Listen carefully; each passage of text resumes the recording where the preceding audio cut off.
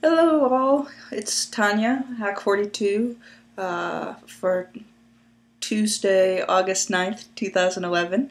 Uh, Talk to me Tuesday. I was gonna go somewhere that actually had light, but Tasha wanted to be in the video and was meowing at me, so we're recording it here even though there is not sufficient light here. Um, so the only thing I have to show today are my socks. And I was going to record this in a different way so that it would be easier to show my socks, but it didn't work. So instead I'm going to go do this and go, see, look, I have socks. They're on my feet. Ah, on my feet.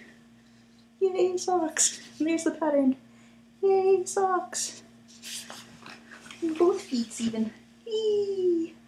Extreme close up. Anyway, that's all I got for this week. That and a kitty. And, and it's a good thing it's not in smell-o-vision. And it's a good hey.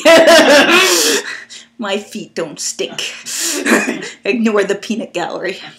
Anyway, uh, wow, that was a really short video this week, but we're calling it good. Uh, everyone have a great week, and we'll talk to you next week.